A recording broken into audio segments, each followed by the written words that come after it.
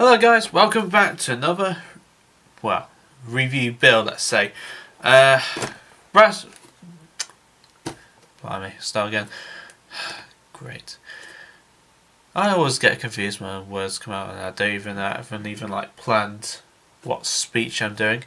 Anyway, it's brand new kit from Special Hobby. It is the American Buffalo, but in a Finnish marking scheme as you can tell.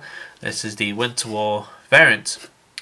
Uh, that's again has to do a review for this for Scale Aircraft Magazine International, and as well as this, it's for the uh, UK scale modelers or Ian's uh, Foreign Service Group Build. Basically, I think that's the title name, but anyhow, basically, if you're interested, guys, there's a link to the Facebook group in the description at the bottom. It will take you to the pay. Oh, my! See, it's getting notifications going off all over the place. It's really getting annoying, guys. Really, really. Anyhow, okay on the box. As you can tell, uh, as you saw in the review, plenty to, to do. And amazingly, we start off with the wings, which is a bit unusual, really. Don't know why. Never seen it before and we get on to making the actual parts for the firewall system which goes in there which is pretty weird to start off with I guess. Anyhow, anyhow that's how it's designed. And of parts here, there, everywhere. I'm just going to get out the low wing so we're going to make a start the kit.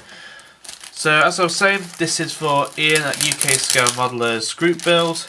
It is called the Foreign Service group build basically make any aircraft, tank, ship, anything that was used from a original country to serve with another country's warfare, I guess you say. For example, this is why I'm entering because it's an American aircraft or US aircraft, depending on what you want to call it, it's been entered into the Finnish uh, lot. And that's basically how it technically works, guys. That is simple as that. Now, before I do anything, if I can remember, yes, here we go. We have to put the uh, the resin grills into the wings there. That is going to be a bit of pain because uh, they are actually in the bag here. I'm not sure how they're going to go on. So I think what I, I think what I'm just going to generally do, guys, is if it gets to a difficult part and I'm going to get some trouble, then I'm going to literally just take it away and probably have a look and then talk about how we can overcome this step. But I don't see if there's any issue. I think it's just putting the grills and painting it a certain colour, which apparently it is supposed to be silver. But I beg to digress. I think that's going to be black and then whatever. But anyhow, uh, that's going there, and then the wheel wells apparently all silver too. See what I mean? See what I mean? Leave it alone! Yes. And yeah, yeah, basically it's just all the interior work that we'll get started on. It's going to be very weird because normally I start off with the cockpit and then work my way through, but this time we're starting with the wings uh, it's completely out of my league this is, but when one is thrown into the mix, that is really it. So I'm going to crack on with that, and we're going to come back and we're going to put the wings together. Okay, big mistake. These were not grills. These were actually undercarriage um, detail system, I guess basically, well, I don't know, like racks or whatever for the landing gear legs to hold in place. Uh, I did some research and turns out they were pretty much mostly silver, although some people like to paint them in the uh, camouflaged green. It's entirely up to you, but I've done mine silver because I had a look and I think it was mostly the the actual bay itself was silver and the rest of the like the firewall and the cockpit components and everything else was in green which is quite unusual really I don't know why but I have So they weren't um, radiators or anything like that. They were actually parts like that. I don't know what aircraft I was thinking of. Um, one part was that uh, this this whole chunk of resin is just left there like so and here. So basically, oh, not like that. Two seconds. Uh, basically, I just want to trim this off.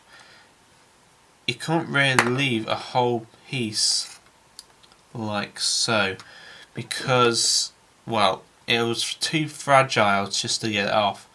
So I had a quick look and uh, if you want you can leave it on unless you want to try and rip it off which I didn't want to try doing personally. But it's entirely up to you whatever as a modeler you want to do.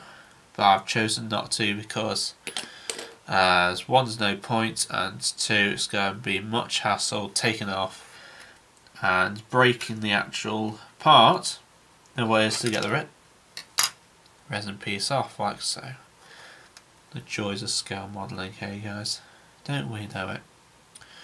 Okay, so just checking that's in place, it should be.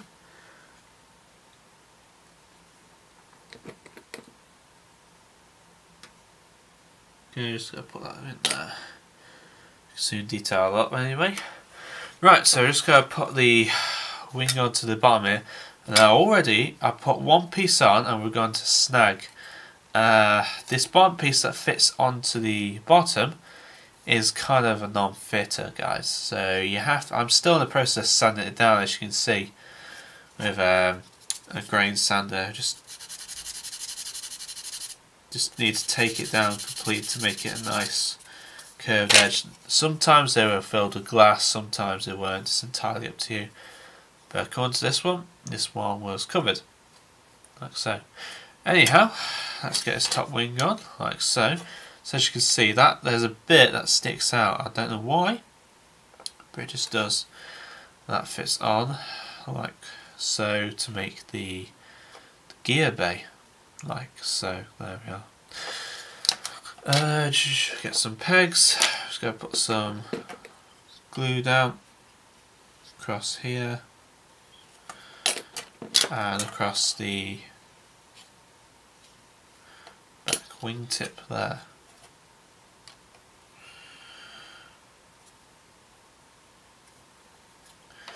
Don't know why I'm in a singing mood today for some reason. I do not know why. I just am. So apologies if I'm. I've got. Uh, oh, actually, hold on a second. Right. Okay. Is that supposed to be like that or not?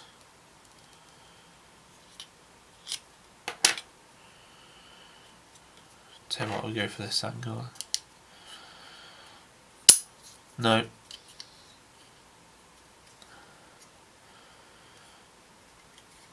Hmm. Okay.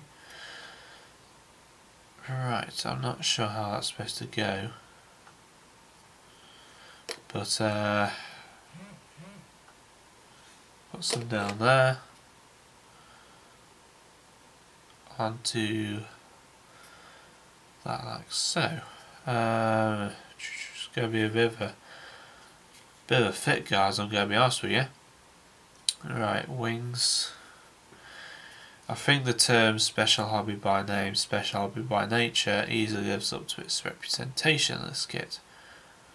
Apart from that, it looks good. It's just the edge of the wings that needs sanding down. Like so. Uh, okay, so there's that one in. Let's see if this one will go in next. Either a peg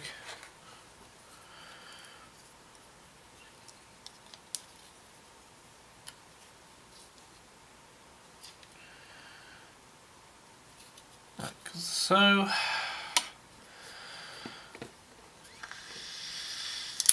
fits perfectly on there. So once again, I'm just going to put some glue on there.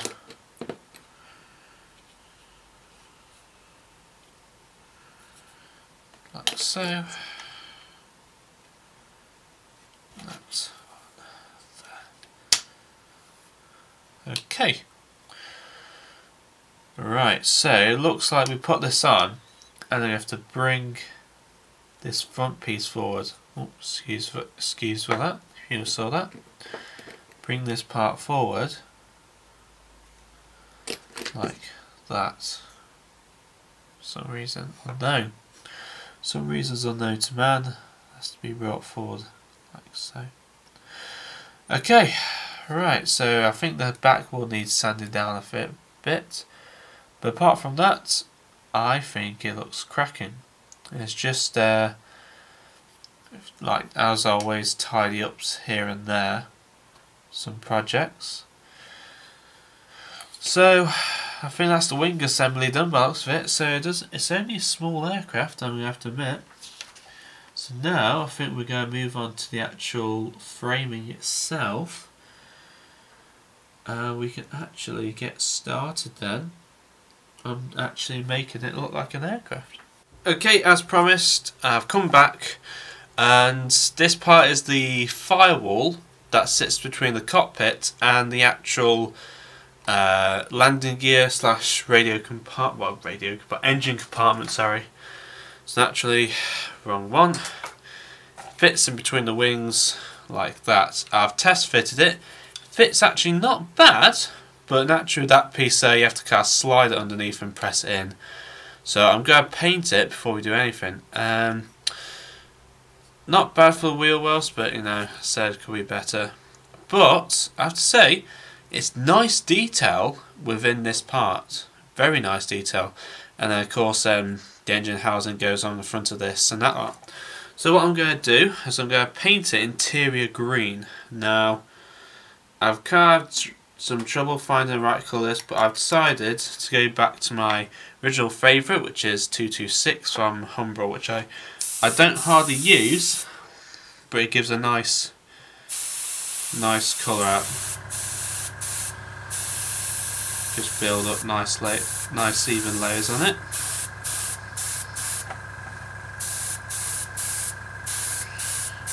I might have done a bit too thick, but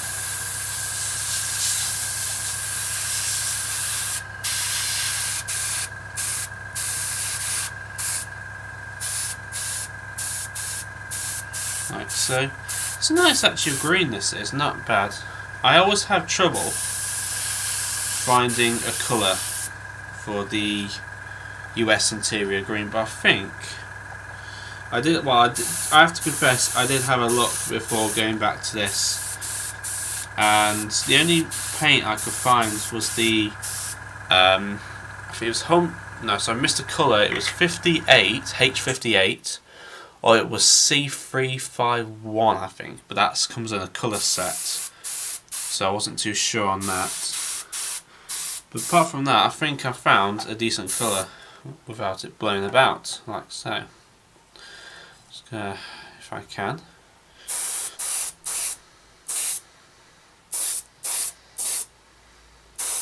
Okay, this part you get paint all over your fingers. Like so. So it's not a bad aircraft guys so far. It's nice detail. Like so. So I think now, ooh, nice detail. I'm going to let it dry and give it another layer in a bit, but I'm going to do um, all the actual other parts first. That's on the sprues, as they say. Obviously there's a lot of uh, different colours on here. But again, just nice layers, that's all you need. Across here. It might be a bit too thin this paint, I might have done it, so have to bear with guys. Just give it nice even layers to build up uh, colour. Hmm. Um, foot pedals here. Now, I think the Buffalo was always kind of. Um, it was disliked by its own. Uh, well, it wasn't disliked, but it was kind of. How would you put it? Um, its name now. What's the actual name for it? Where it's out, outclassed or outdone by, I've forgotten the name, by other aircraft, etc. The Wildcat or or others. But that was by its own US people, like pilots and that lot. But it's surprising how the actual Finnish, from Finland obviously, liked it more than the actual US pilots, which is actually pretty weird. Okay, so I've just noticed, I think there might be a bit of residue or something on that part, because if you notice, look, well, nice work now, devil. So, uh, so yeah, there we are. Okay, I'm just going to paint all these better, make them all look like the interior green. And then, once that's done, we'll crack on putting it all together. Okay, so the, the wigs are still giving me dread they are, I'll tell you that a lot. But I mean, even these resin parts keep falling out, so I think I might just put some super glue in there and get it all fixed up. But as you can tell, I'm not in the best of ways because uh, I have developed what's known as a cold by my weird voice and acting and my stuffed nose. I have trouble talking properly, which is going to be absolutely great. So apologies if that. Basically, I'll be looking at next steps what to do. Now, this is a step which quite, uh, which has quite got me basically. We have the the cockpit floor with the seats rests, I guess they are, and then there's this part in the middle that's for the actual uh, yoke control stick or whatever. And that fits onto this piece here, but I do not know what this piece is actually for because uh, with this piece uh, the whole lot does not fit onto the actual like part of the aircraft which is quite bizarre so if I don't know what it is it's not going to be seen anyway so I've basically left this piece out and basically just done the top half and the yoke control stick there. But that's pretty much it guys and then this part fits onto the back like so because if you imagine that part I was saying about it fits on there so that fits there. And that should also fit on like so. The problem is though no one will see underneath there. No one. So what's the issue with that piece there? I don't know anyway. But uh, apart from that, uh, that's going to be glued onto there, and then that's onto there. So, I, I don't know, pretty much like that. On, there we are. So, yeah, that's really it. That's that's going to go together onto that piece, and then we have another piece that fits onto this, which I'm just going to go away and do now, so that's pretty much the next steps and then we'll get on to put the fuselage halves together, well, one of them anyway to build the cockpit inside. Okay, so the I need to stop saying okay it's a poor thing, and my cold is still here. Anyway, we've got the parts on here. So apparently this is a, it's a huge piece of plastic that is, and it fits into a groove on the back here, so to say like so. Uh, obviously it's not going to stick right now, but apparently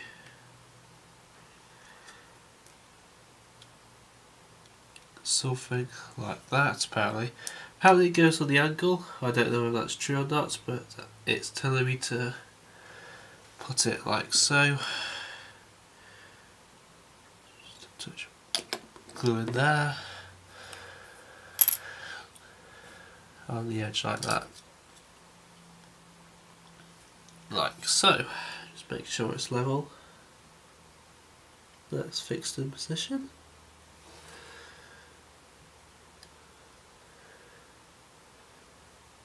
Like that. So that looks pretty much right. Uh, just gonna borrow the other piece to hold it together. Like so. So will actually will take a while just to hold this in place for like so. For just a while, that's all.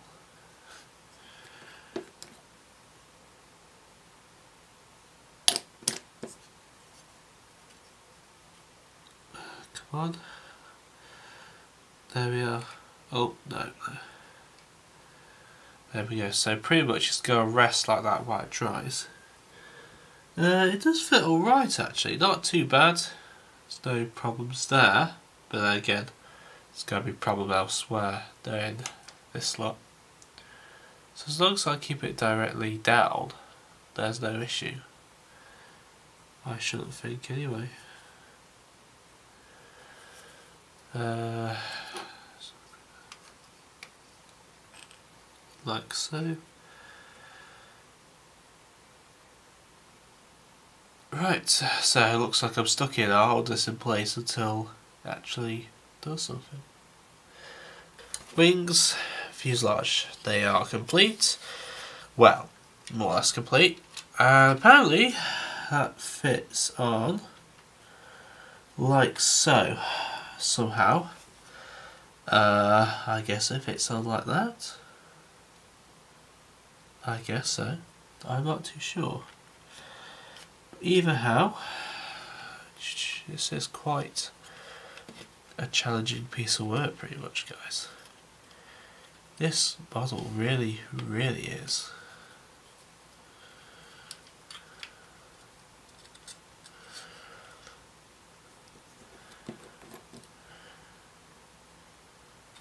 like so.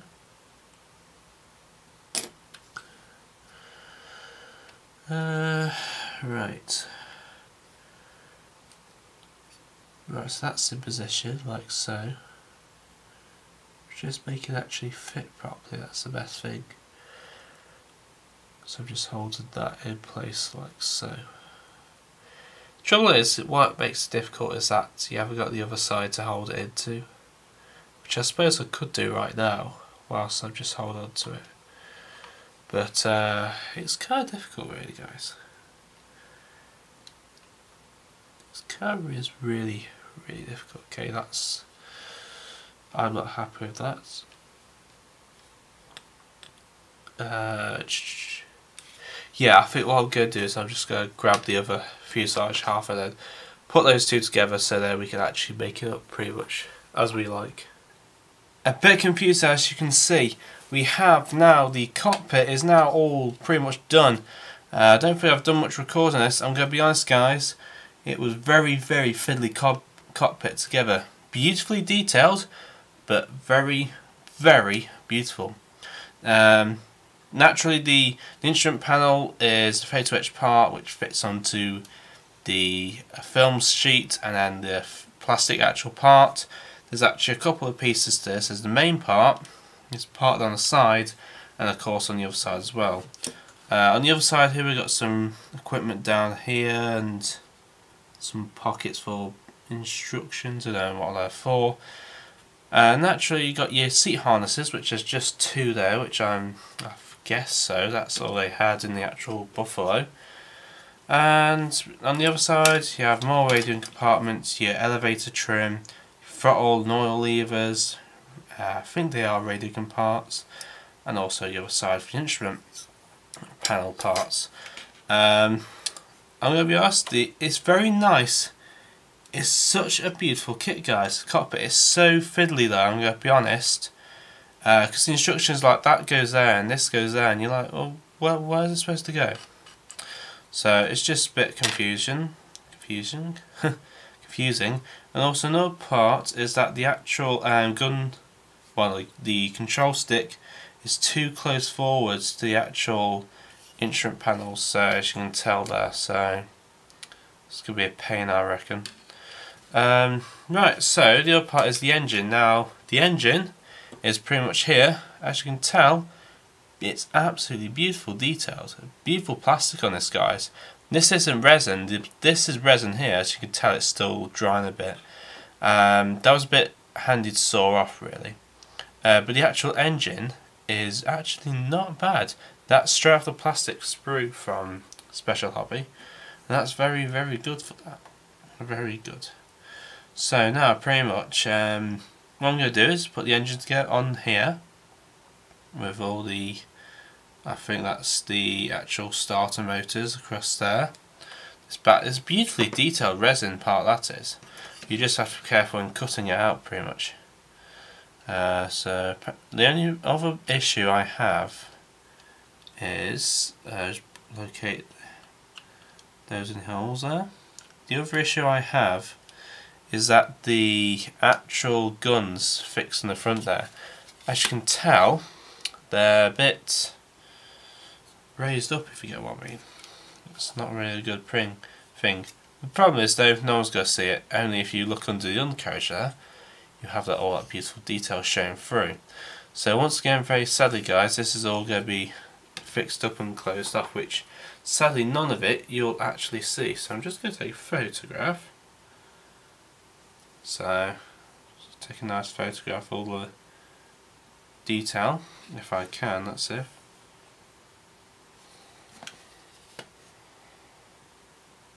Come on.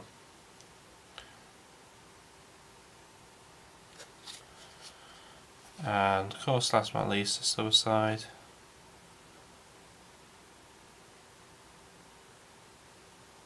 Like so. And now what we're going to do is, very carefully, attach the other side across here. Now, you might notice something different while I'm using. Oh, actually, hold on. We haven't all put together this part. Very actual important part for uh, any aircraft. The actual tail wheel part. Completely forgot about it. Okay. Actually, it might help put some glue in first. Would always be a help.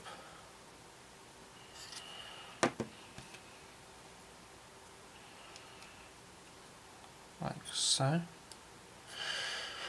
And the two other halves go together like so. So like I was saying, it's completely different to see me using um, the uh, the Revell contact glue. Never seen me use that. Right, another problem I have. Oh, actually, sugar. Take that away.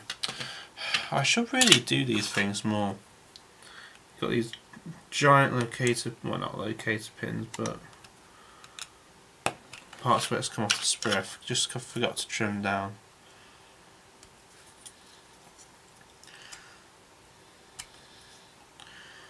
Oh dear dear me. Sorry about that guys, we'll try and carry on now. Okay, there's two parts going like so. Not a bad fit. A bit tight, oh, actually bit tight around that engine cowling. Oh my.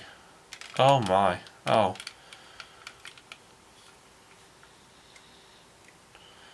Oh dear God. Oh dear God. Talk about that for a gap. Um, yeah, it's not a bad kit. It goes together well. Just it's actually holding everything together.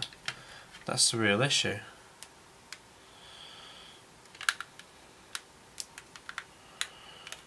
Um, hmm. So better just get a bit of tape, bounce it across the workbench.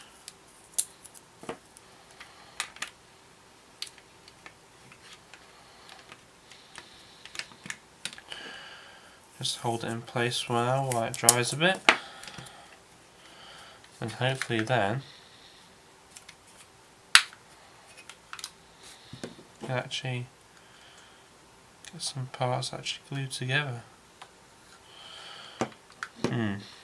I don't like the look of this front radial part of the engine guys because as you can tell it does look a bit like it's gonna Ooh.